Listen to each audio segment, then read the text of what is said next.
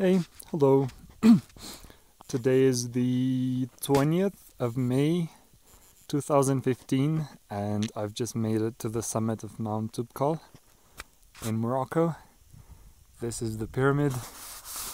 It is about, let's see, it's about 2 p.m.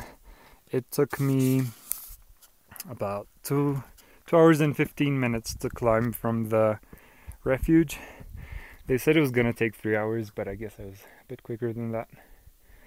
I'm a bit concerned that there's no other people on the summit, so I should probably just spend another 10 or 15 minutes and then make my way down. There's um there's a guest box here, but I don't I didn't bring a pen, so I guess we'll have to do without. So we are at 4,167 meters above sea level, and this is supposed to be the highest peak in the Atlas Mountains. So I'm quite proud with myself. Yeah, well, just have to rest for a bit. The air is really thin. It feels like I'm breathing nitrogen. I had to pause a lot on my way up, but it's nice. I saw some vultures and uh, yeah, it's good.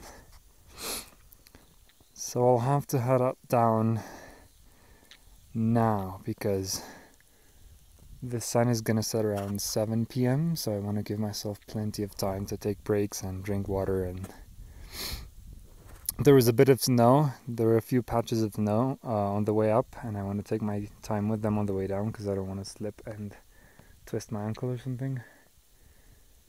And yeah, this is it. See you on the flip side.